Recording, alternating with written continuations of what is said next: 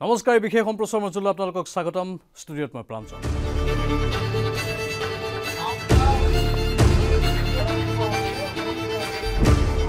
নক্সাল অধ্যুষিত এলেকাত অসমৰ মুখ্যমন্ত্ৰী হিমন্ত বিশ্ব শৰ্মা ছত্তীশগড়ৰ কথা কৈছোঁ আমি ছত্তীশগড়ত এইকেইদিন ব্যাপক ৰূপত নিৰ্বাচনী প্ৰচাৰ চলাই আছে অসমৰ মুখ্যমন্ত্ৰীগৰাকীয়ে भाई और बहनों इस बार तो छत्तीसगढ़ में मेरा तो लग रहा है कि ये कांग्रेस पार्टी अभी जनता का बल से चुनाव जीतना नहीं चाहता है আৰু নক্সাল অধ্যুষিত এলেকাত নিৰ্বাচনী প্ৰচাৰ সভাসমূহত অংশগ্ৰহণ কৰিছে वो लोग नक्सलों को दिखा के हम धमका के बीजेपी का लोगों को बीजेपी का कार्यकर्ता को हत्या करके अपना राजनीति चलाना चाहते हैं ছত্তীশগড় বুলি ক'লেই নক্সালৰ কথা আহে য'ত নক্সালৰ এক প্ৰকাৰ আতংক চলে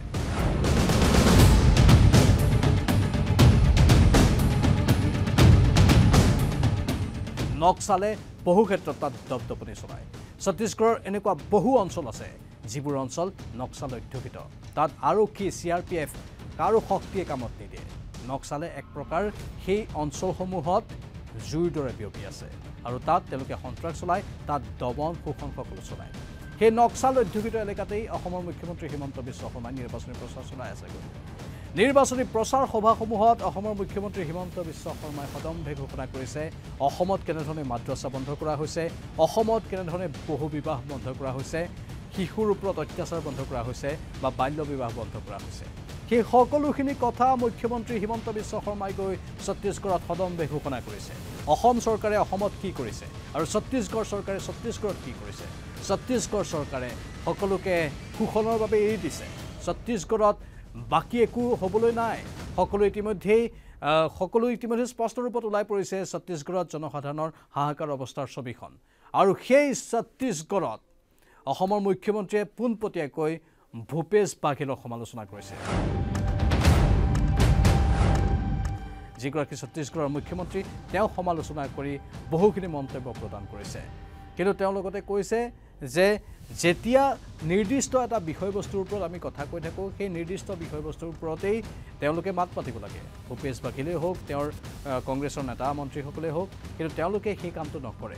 তেওঁলোকে যিকোনো এটা বিষয়ত যেতিয়া মাত মতা হয় সেই বিষয়টোক ধৰ্মীয় মেৰুকৰণ কৰিবলৈ চেষ্টা কৰে। মুখ্যমন্ত্ৰীগৰাকীয়ে এই কথা কৈছে যে তেওঁ আন আন কেতবোৰ প্ৰসংগ উল্লেখ কৰিছিল।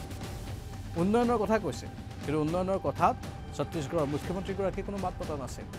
উন্নয়নৰ কথা কওঁতে ছত্তীশগড়ৰ মুখ্যমন্ত্ৰীগৰাকী নিমাত আছিল কাৰণ তাত ছত্তীশগড়ত উন্নয়ন হোৱা নাই। কিন্তু বিজেপি চৰকাৰ য'ত য'ত আছে তাত হেনো উন্নয়ন হৈছে। এই দাবী কৰিছে অসমৰ মুখ্যমন্ত্ৰী হিমন্ত বিশ্ব শৰ্মাই। অসমৰ মুখ্যমন্ত্ৰী হিমন্ত বিশ্ব শৰ্মাই লগতে ক'লে যে যেতিয়া তেওঁ আকবৰৰ কথা ক'লে তেতিয়াহে সৰব হ'ল ভূপেশ বাঘেল আৰু তেওঁৰ নেতা মন্ত্ৰীসকল।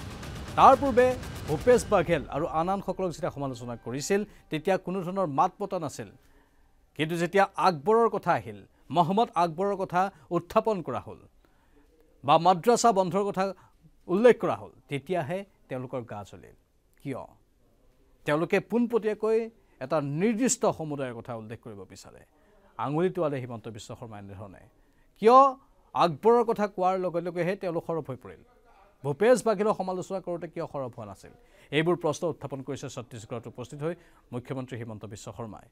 অসমৰ মুখ্যমন্ত্ৰীগৰাকীৰ এই হুংকাৰে স্বাভাৱিকতেই কিছু প্ৰতিক্ৰিয়াৰ সৃষ্টি কৰিছে। কাৰণ আপোনালোকে জানে ইতিপূৰ্বে অসমৰ মুখ্যমন্ত্ৰীগৰাকীক ন'টিছ প্ৰেৰণ কৰিছিল। নিৰ্বাচন আয়োগৰ তৰফৰ পৰা সেই অভিযোগ উত্থাপন কৰিছিল কংগ্ৰেছ নেতৃত্বই যে হিমন্ত বিশ্ব শৰ্মাই সাম্প্ৰদায়িক মন্তব্য প্ৰদান কৰিছে।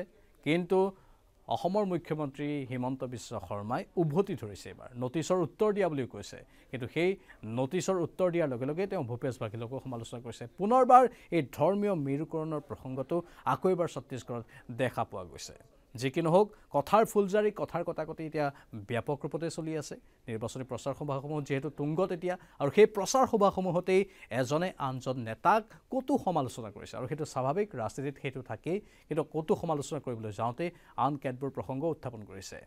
আন এখন বেলেগ ৰাজ্যত গৈ সেই ৰাজ্যখনৰ মুখ্যমন্ত্ৰীক সমালোচনা কৰি হিমন্ত বিশ্ব শৰ্মাই সাম্প্ৰদায়িকতাৰ যি ধৰ্মীয় মেৰুকৰণৰ যিখিনি কথা আছে সেই মেৰুকৰণৰ কথাখিনিও এক প্ৰকাৰ উদ্ভাসিত কৰি তুলিছে। মাদ্ৰাছা বন্ধ কৰাৰ কথা বা আকবৰৰ কথা কোৱা এই সকলো বিষয়ে স্বাভাৱিকতেই অন্য এক দিশলৈ লৈ যাব পাৰে নিৰ্বাচনী বতাহক। লক্ষ্য ৰাখিম আমি। ধন্যবাদ।